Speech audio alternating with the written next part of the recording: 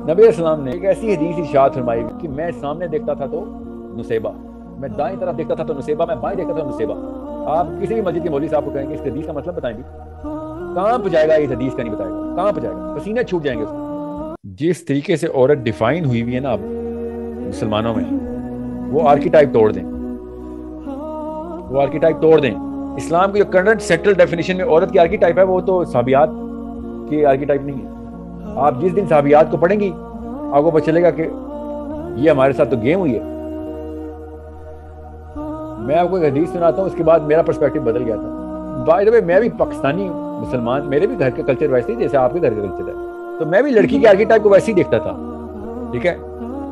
चले, वैसे तो नहीं देखता था, मगर मुझे पता है वैसे क्या है। तो मैं तकरीबन तकरीबन वन टू परसेंट का फ़र्क किया, बाकी वैसे फिर जब मैंने स्कॉलर आदमी एक्सट्रीमिस्ट किस्म के मुल्ला ठीक है? यमनी हो या जोर्डेनियन हो। इन्होंने जब मुझे औरत की आर्किटाइप बताई ना तो ना लाइक ये क्या कर रहे हो? ये कौन, ये कैसे अलाउंस दी गया ये का and then they were like you are not a girl why are you worried you know like, I'm not I'm not a girl, but I'm worried about the fact that if girls are doing so much, then मेरे पे तो बहुत बड़ी responsibility है. And they said जी, इसीलिए बता रहे हैं आपको. क्या उन्होंने बताया फिर? उन्होंने आर्किटाइप डिफाइन की। मैं आपके लिए कर देता हूँ, बाकी सबको आपकी तवज्जो से मिल जाए। स्पेशली गर्ल्स नबी इस्लाम ने एक ऐसी हदीस इशाद फरमाई हुई है मुतफक कोई ज़यीफ हदीस नहीं है। सारी दुनिया को पता है उस हदीस का, वो पाकिस्तान इंडिया में नहीं सुनाई जाती। वो हदीस पता क्या है? वो हदीस है कि जब औद का गजवा हो रहा था ना, और मुसलमानों पे सख्त तरीन वक्त आ गया था कि नबी इस्लाम को शहीद करने के लिए पूरा टोला आ गया था इनके पास। ठीक है? और तीर भी चल रहे थे, नेजे भी चल रहे थे, और लोग फ्रंट, फ्रंटल कॉम्बैट के ऊपर तलवारों से लेके आए हुए वार कर रहे थे। तो नबी इस्लाम ने उस वक्त है नबी इस्लाम ने फरमाया कि मैं सामने देखता था तो नुसेबा। मैं दाएँ तरफ़ देखता था तो नुसेबा, मैं बाएँ देखता था तो नुसेबा। आप किसी भी मस्जिद के मौलवी साहब को कहेंगे, इस हदीस का मतलब बताएँ भी। कहाँ पर जाएगा, इस हदीस का नहीं बताएगा। कहाँ पर जाएगा। पसीने छूट जाएँगे उसको। मैं अभी शुरू हुआ हूँ। ये सेशन लंबा, छोटा, खत्म करना है। मुझे पूरा एक सीरीज़ ऑफ़ सेशन करना चाहिए साहबियात को। जिस लड़की को देखो, भेड़ बकरी बनाई हुई उसने अपने आप को। आर्किटाइप भी ज़ीरो की हुई मैं सामने देखता हूँ नसेबा, दाएँ देखता हूँ नसेबा, बाएँ देखता हूँ नसेबा। इसका मतलब बताता हूँ। हर तरफ़ से नबी इस्लाम पे हमला हो रहा है। और हज़रत नुसेबा रज़ी आदमियों के जत्थों जत्थों को रोक रही हैं अपने आप से। दाएँ तरफ़ से भी, सामने से भी, बाएँ तरफ़ से भी, अपने जिसम से। गौर से समझें, ये जो बिठाए हुए ना इन्होंने एक डब्बा सा बना दिया लड़की के लिए और उसको हराम हराम हराम करके डरा रहे हैं इस्लाम से। इनसे कहें मैं नबी सलाम से बात के थ्रू बात कर रही हूँ। साहिल अदीम के थ्रू नहीं बात कर रही हज़रत उमर बिन खताब आपके जहन में क्या इंप्रेशन है उनका? सख्त या नर्म? दुनिया को पता है सख्त है ठीक है? पर्दे की आयतें उनके मशवरे से आई ठीक है? पर्दे की आयतें उनकी मशवरे से और सुनिए आप ये बताएँ हज़रत उमर के टाइम पे जब वो अमीर मोमिनीन थे मक्का का फाइनेंस मिनिस्टर कौन था?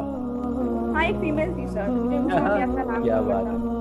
और वो इतने इंप्रेस थे उनसे कि उन्होंने मदीने का भी फाइनेंस मिनिस्टर किसको लगा दिया? लड़की को।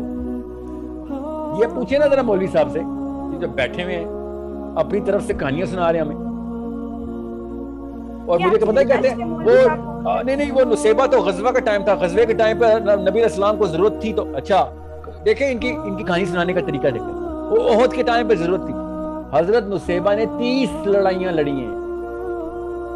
और पता किस गजबे में शहीद हुई है? रिद के गजबे में। अबू बकर सिद्दीक अमीर मोमिनीन है। और जक़ात ना देने वालों के खिलाफ गजबा हो रहा है। उस पर भेजा है हज़रत अबू बकर सिद्दीक ने। उसमें हज़रत नुसेबा शहीद हुई है। जब उनको गुसल हो रहा था तो खातून ने पता क्या कहा? कि जिसम का कोई हिस्सा नहीं है नुसेबा का जिसपे तलवार का जख्म ना हो। इतनी लड़ाई लड़ी है इस औरत ने। मैं अभी शुरू हुआ हूँ, बेटा। मैंने कहा ना, सीरीज़ करूँ तो परखते उड़ जाएँगे उस आर्किटाइप के। मैं रिस्क नहीं लेना चाह रहा हूँ, क्योंकि इस वक्त पहले ही फेमिनिज्म अपनी पूरी फंकार के अंदर आग बरस रहा है और मुसलमान लड़की ने कहना, हमने तो निकलना ही निकलना पाए।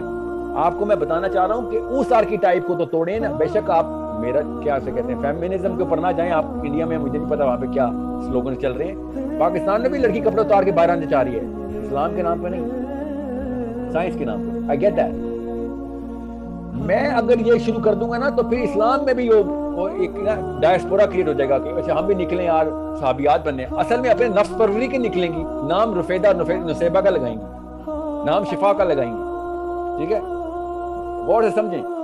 मैं आपको खाली बता रहा हूँ आप एक रिलीजियस सर्कल के वरना सिंपल आर्ग्यूमेंट के ग्रुप में होती। आपने उन लड़कियों की आर्किटाइप बदलनी है जिनको कोई शौक नहीं कपड़े उतार के बाहर डांस करने का। मगर उनको इस्लाम पे आखिरत बचाने का शौक है और उनको ज़बरदस्ती की वो वाली चीज़ें डाली हुई हैं जो कि अल्लाह ने कहा है, इनसे करवाओ। मौलवी साहब ने कहा है, नहीं, हराम है। नऊज बिल्ला ये बताएगा हमें कि हराम क्या हलाल क्या रब ने बताना क्या हराम है। सो सीरा पढ़े, आपको मिलेंगी ऐसी खवतीन, ऐसी जरी खवतीन, ऐसे ऐसे गजबों में। सीरा पढ़े तो अब कब से मैं कह रहा हूँ, सीरा पढ़े, कोई औरत पढ़ती नहीं है सीरा। आप पूछे फिर किसी दाढ़ी वाले से, यार, एक साहबिया साबित नहीं हो रही, आपकी पूरी फिलोसफी में तुमने कौन सी फिलोसफी कर ली है? एक साहबिया नहीं साबित हो रही, इतनी लिस्ट की लिस्ट पड़ी हुई है। तुम कहाँ से बैठे हुए हो कि तहखाने में बंद करो औरतों को नमाज़ पढ़ाने के लिए? ये कहाँ से निकाल रहे हो तुम ये सारी फिलोसफी ये सारी औरतें नाउजबिल्ला, साहबा ने कैसे अप्रिशिएट एंड ऑनर कर दी है सेंटिफाई एंड वैलिडेट कर दी है?